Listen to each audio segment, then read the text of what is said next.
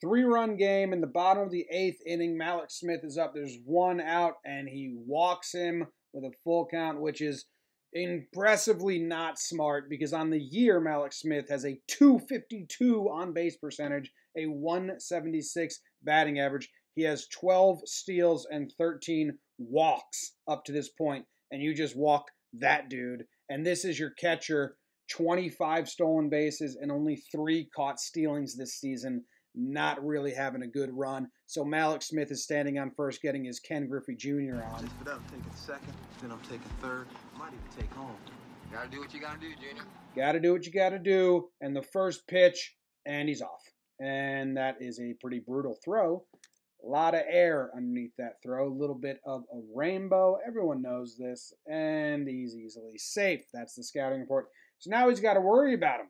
Don't steal third. Oh, I'm going to steal third, buddy. Oh, no, you better not steal third.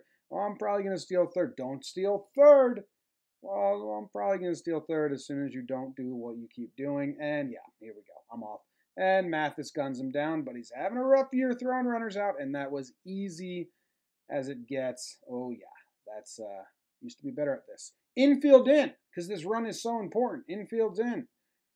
But they walk Haniger. And if you've ever looked at my Twitter, you would have the scouting report that Mallex Smith has played two full seasons at the MLB and has been thrown out trying to steal home four times. Dude loves to steal home, and he loves to do it on this pickoff play. So don't throw a pickoff. Whatever you do, young bird, you rookie pitcher, don't throw. No, you threw the pickoff. You had to know. Safe. Stole second, stole third, stole home. Dee Gordon's loving it. Happy as can be laughing his ass off. What an idiot.